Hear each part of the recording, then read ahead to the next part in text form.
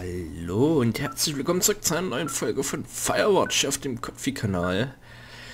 Ja, letzte, letzten Part waren wir in diesem komischen Lager von den Leuten, die uns hier beobachten. Wir haben Beweise gesehen, gesammelt, dass wir wirklich abgehorcht werden von irgendwelchen Leuten, also wir und Delilah. Und ja, kurz nachdem wir da wieder rausgegangen sind aus dem Lager, stand das Ganze plötzlich in Flammen. Sprich, einer muss es beobachtet haben und gesehen haben, oh, der hat alles entdeckt und will jetzt Beweise vernichten. Aber wir konnten dieses Gerätchen hier mitnehmen und es hat plötzlich angefangen zu piepen in diese Richtung, in den Südwesten und dem Ganzen wollen wir jetzt mal nachgehen und schauen, was uns das Gerät denn so anzeigt. Was es hier Interessantes in der Nähe gibt. Was hier diesmal los ist.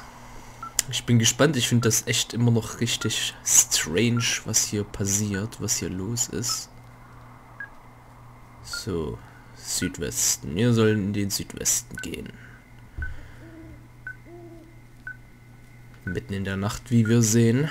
Das reimt sich. Haha. Es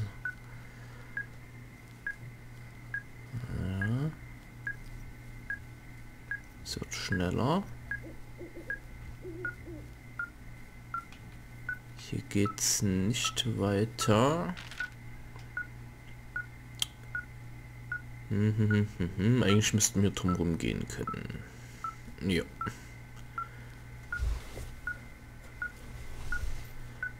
So, in diese Richtung. Also immer weiter Südwesten, Südwesten. Südwesten. Vielleicht zu dem Medicine Wheel? Vielleicht dahin? Weil das ist schon seit Ewigkeiten in der Karte eingetragen. Aber wir hatten da noch nie irgendwie was zu tun. Das war bisher ein völlig sinnfreier Punkt. Vielleicht ist da jetzt irgendwas. Ja, es wird schneller, der Wellenempfänger wird schneller. Hier kommen wir nicht durch. Nicht? Ne, hier kommen wir nicht durch. Müssen wir wieder außen rumgehen. Ich denke mal, das wird auf das Medicine Wheel hinauslaufen.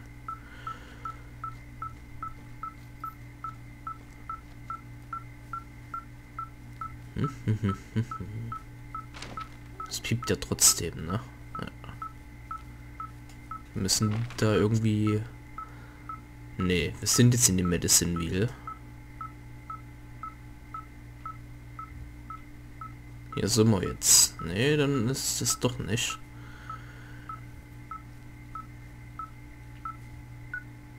Jetzt, jetzt zeigt Osten.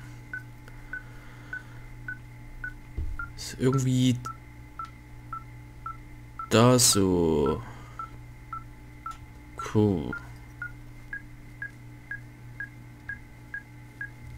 Bin ich vielleicht komplett falsch? Müssen wir vielleicht irgendwie auf die andere Seite da? Da ist auch noch da bei diesem Medicine, wie bei dem E von dem Medicine, ist ja noch so eine kleine freie Fläche. Vielleicht müssen wir dahin, aber... Wie kommt man dahin? Irgendwie müssen wir da hoch. Irgendwie muss da oben was sein. Vielleicht kann man irgendwo klettern, was nicht angezeigt wird. Oder wieder was kaputt schlagen mit der Axt was nicht angezeigt wird, weil wir das Ding in der, genau, weil wir das Ding in der Hand hatten, konnten wir hier nicht durch. Das wird immer schneller. Oh, ein Rucksack. Okay. Was? Alarmanlage. Okay. Keiner da. Da war gerade irgendein Schriftzug. Ach, das ist der Leilas Turm, okay. Was ist denn da drin? Schlüssel. K452, war das nicht die da unten bei dem Thunder? Genau, das, das ist der Schlüssel für dieses... Ah. What are you doing over there? D, I, I found some sort of supply bag, light camping gear, some clothes, you know, basics. But It was alarmed. I think that's what was making the receiver go haywire. You're okay? It's not a trap or anything? Yeah, I'm fine. But there's there's also a set of keys here. Now, I don't know why they'd be hidden out here. They say Shoshone National Forest, Cave 452. Is that the one in the canyon? Hm. Yeah, it is. Who the hell took them? And what the hell is in that cave?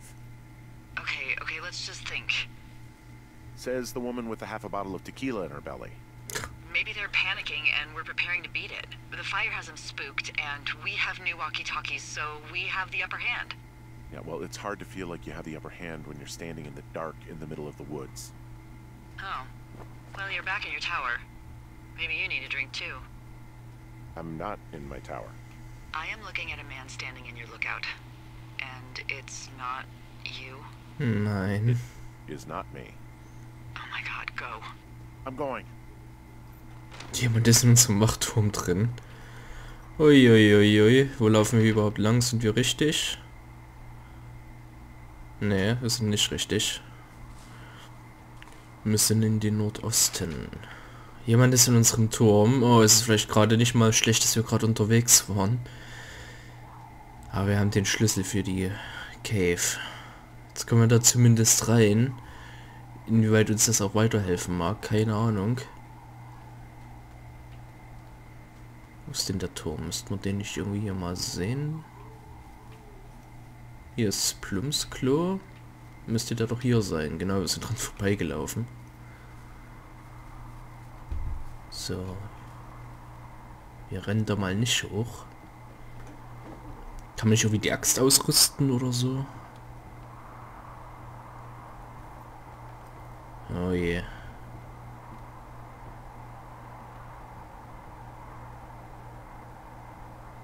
Scheint keiner da zu sein. I don't see anyone up here. She was just there. Festgeklebter Walkman. Left a cassette player taped to my damn door. I don't even know what to say to that. Well, let's see what's on it.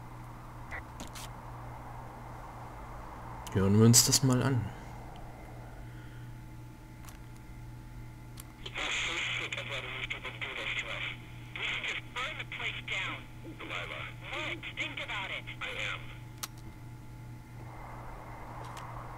It's a tape of us talking down at the site. It sounds like it was recorded from somewhere nearby. Oh, Jesus.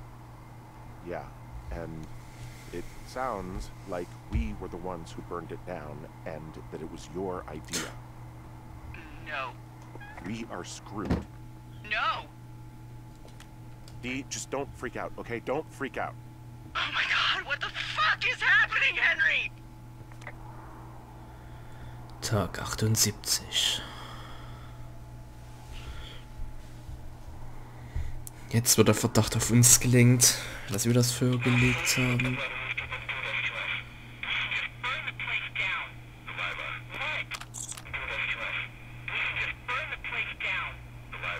God, I think I'm gonna be sick.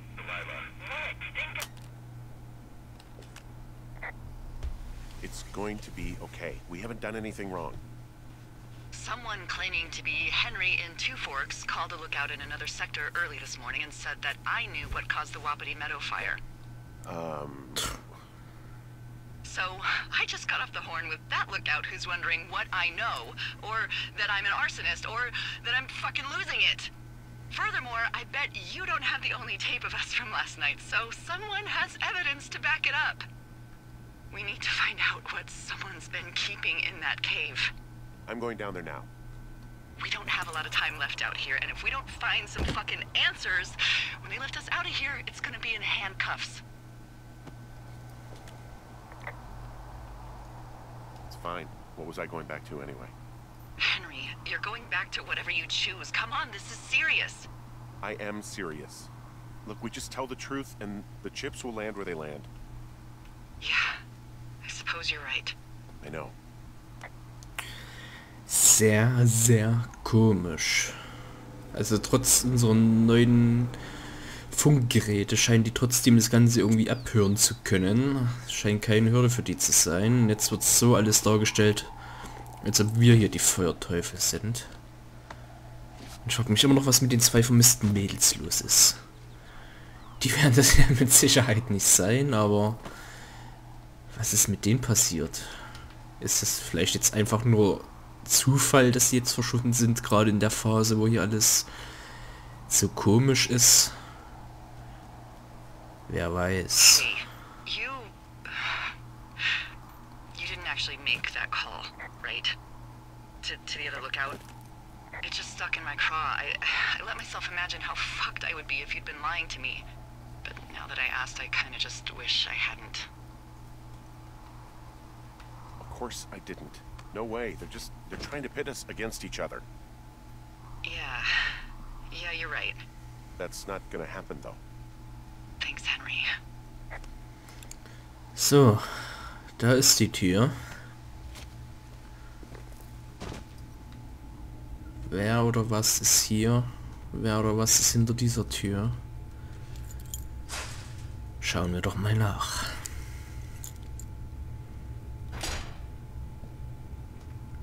Können wir die wieder zumachen? Nee.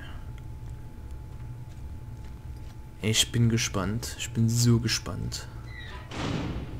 Jetzt ist die Tür zu. Hat uns jemand eingesperrt?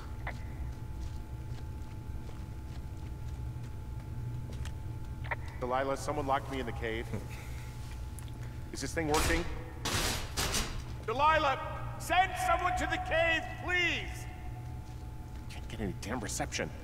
Ob das vielleicht eine Falle war oder ob das Zufall war, dass die gerade hier waren und uns einsperren konnten.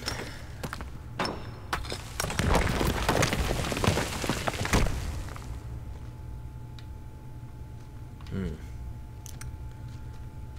Hier unten ist nix, wo wir lang gehen können. Naja, da geht's definitiv nicht lang.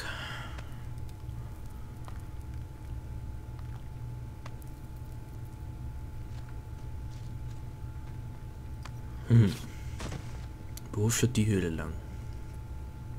Wahrscheinlich nichts etwas, was uns weiterhilft. Ansonsten hätten sie uns nicht eingesperrt. Das würde einfach keinen Sinn machen. Sondern die wollen uns einfach fernhalten. Deswegen wird hier vermutlich nichts irgendwie sein, was uns jetzt... Das ist da ein Schuh? Sieht aus wie ein Schuh, ne? Aber da können wir irgendwie nichts machen. Warum liegt da ein Schuh? Ist da mal jemand drunter geflogen oder? Hm. Das wurde uns ja am Anfang von Delilah gesagt, wurde hier gesperrt, weil hier mal Leute irgendwie Unfälle hatten oder so war das, ne?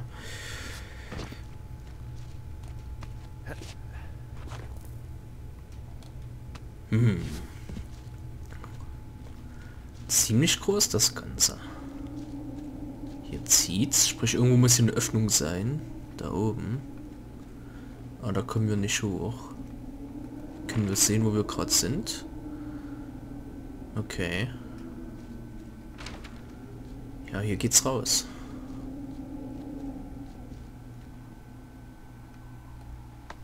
Hm. Hey, are you there? Yeah, what is it? What did you find? Nothing yet because someone tried to trap me in there. You saw someone? No, someone slammed the gate behind me and then ran away. I found another way out, but if I hadn't, Jesus. So, you, so you didn't find anything? No, th- there's a spot where someone had sunk an anchor, but the hardware's gone now. I don't have any climbing equipment. I just have my ropes. I'm gonna hike back to Two Forks and see if I can find anything that could double as an anchor to use in the spot. Well, that doesn't sound dangerous. Hm. Wir gehen also wieder zurück. Nur wie? Können wir jetzt vielleicht den Fernmeldemasten folgen? Können wir da vielleicht irgendwie dahin? Weil wir sind jetzt da und... Puh. Schauen wir mal, so viele Optionen wird es hier ja nicht geben. Mal schauen, wo wir rauskommen. Okay. Delilah, I just found an outcropping that someone was using as a little fort. I think it was Brian Goodwin. Really? Yeah, he built himself a real castle. Schulorden? I found an old school folder. Brian was a hell of a doodler.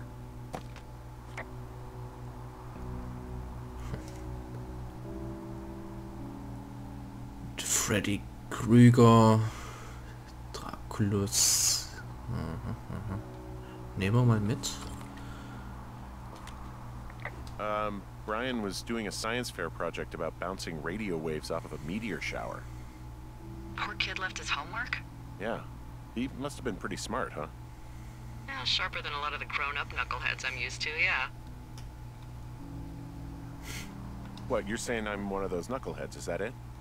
I wasn't, but, um, now that I think about it, Because I know lots of stuff. oh, please, drown me in your surplus of knowledge. I've been waiting all these years for a man as wise as you to take this job. Well, that wait's over, sweetheart. Uh, call me sweetheart again, and you'll use that big sexy brain of yours to fill out your unemployment paperwork. Ja, letztens Sorry, wolltest du noch mit uns schlafen und oder unsere Zuneigung und jetzt? Brian Goodwin, Schüler der Pimmelton Schule, Rohfassung, 6. Klasse, bla bla bla, sprechende Meteore. Nutzung von Meteoren für eine höhere Reichweite von UKW-Funksignalen. Können Meteore in unserer Atmosphäre dazu verwendet werden, die Reichweite von Funksignalen zu erhöhen? Ja, und ich kann es beweisen. Außerirdische Felsbrocken, die aus den Tiefen des Weltalls zu unserem Planeten kommen, können Ultrakurzwellen reflektieren und dadurch die Effizienz von Funkgeräten verbessern.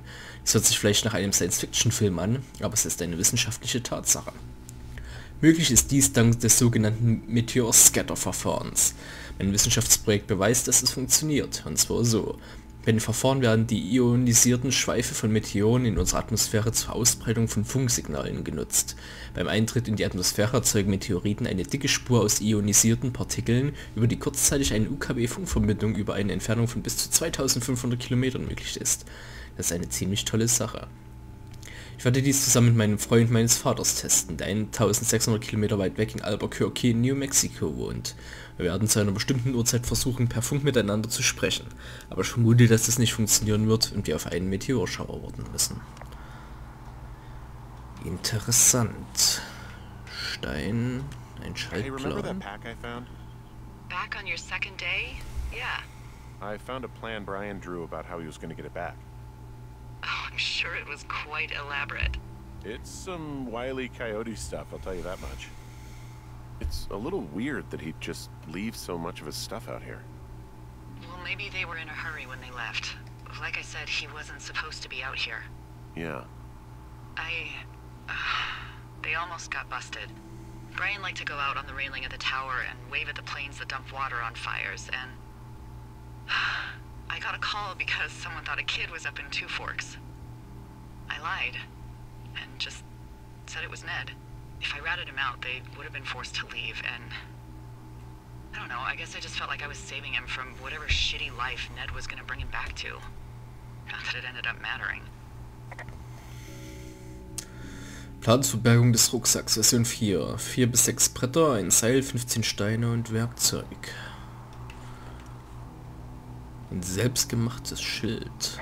He was in the middle of really sprucing up the joint when they left. Okay. Ein Dinosaurier. Was haben wir denn noch so, bevor wir uns das da angucken? Hier ist viel. Nest, eine gemalte A Burgmauer. bunch of rocks stacked up. He made a wall and a perimeter. God. Yeah, that's that's perfect. You know, maybe he made it because he was afraid of them.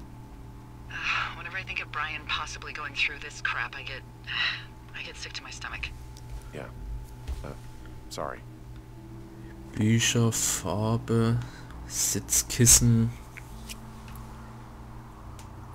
Schema für There's UKW-Funkgerät. There's a ham radio schematic here, something Brian was working on. Yeah, uh, I think that was the one thing Ned did do with him.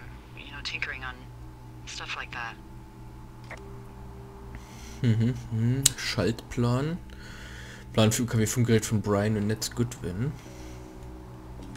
There's some grade A dork contraband here. You found his pocket protector? I found a, uh, I guess, a data sheet for one Gladius Silva, half elf, Armor 7. Classic wizards and wyverns. So ein Pen-and-Paper-Bogen hier. Gladius Silva, chaotisch gut, Rasse Halbelf, Klasse Waldläufer, Level 4, Geschlecht männlich, 29, 1,77 Meter, 61 Kilo, Erscheinungsbild robust, schwarze Haare, blaugrüne Augen, Clan, Heimatwelt und vollständiger Nerdkram. Ein Videospielgerät. busted old toy out here, some sort of electronic game. Kaputt. Yeah? I like Pong. Everybody likes Pong. Gosh, Brian had everything he loved out there. Hmm. There's also a postcard here from Brian to, I guess, his neighbor. What's it say? That he's with his dad and sorry he can't mow his lawn this summer. Oh, gosh. And also, he was worried his dad didn't know when school started. I'd say that's a lucky break if I were him. Yeah, that doesn't surprise me. Ned didn't really seem like a, you know, with it dad. Lieber Mr. Sackler, ich bin meinem Dad in Lander, Wyoming. Es ist wirklich schön hier. Dad war in einer Gegend namens Sinks Canyon angeln. In Wyoming ist fast überall so wie zu Hause in Nebraska, aber wenn man weiter wandert, gibt es Berge und Wälder. Tut mir leid, dass ich diesen Sommer nicht den Rasen mähen kann. Ich hoffe, Sie haben einen passenden Ersatz für mich gefunden. Können Sie zurückschreiben und meinem Dad sagen, wann die Schule wieder anfängt? Ich glaube nämlich, er weiß es nicht. Ihr Freund und Nachbar Brian Goodwin. Ein Bündel mit Haken, das könnte uns helfen. So, begib dich tiefer in die Höhle. Jetzt gehen wir da wieder einfach zurück. Okay. Eine Nachricht an einen Huh, Ranger. Brian stole his dad's climbing gear, his anchors. That's convenient. Yeah, it is. I think he was gonna hide them in a cash box or something and never got around to it. I mean, he left a note for a ranger to find them and, and send them back to him in Nebraska. Because he hated climbing? Yeah, it sounds like Ned was pushing him, and pretending to lose his anchors was the easiest way to put a stop to it. Hope it worked. God, what an asshole. Yeah. Man, that is the sort of thing that would have caused me to catch a beating growing up. Yeah, well, I wouldn't put it past old Ned. Lieber Ranger, mein Name ist Brian Goodwin. In der Nähe dieser Nachricht sollten Sie auch ein paar Bohrhaken gefunden haben. Würden Sie mir einen Gefallen tun, sie mir per Post schicken. Meine Einschrift lautet 55 Foxtrot Lane, North Platte, Nebraska 69101. Wenn Sie mir Ihren Namen und Ihre Anschrift mitteilen, erhalten Sie eine Belohnung.